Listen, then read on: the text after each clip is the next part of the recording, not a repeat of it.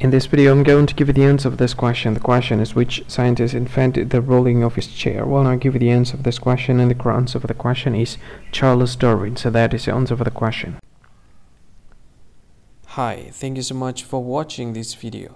If you find this video is very useful, you can help this channel to grow by subscribing this channel.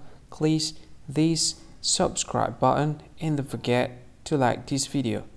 And if you find this video is not really good or you don't really like this video or you kind of feel that it's a little bit offensive or something like that, you can click this one, dislike button. You can do that anyway.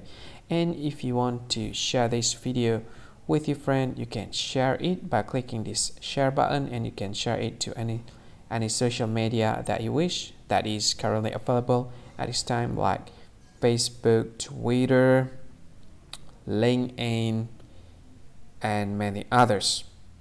Right?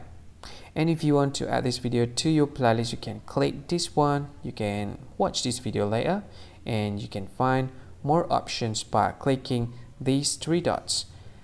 And yeah, don't forget to subscribe. I think that's all of it. Thank you so much for watching this video and see you again in another video. Bye bye.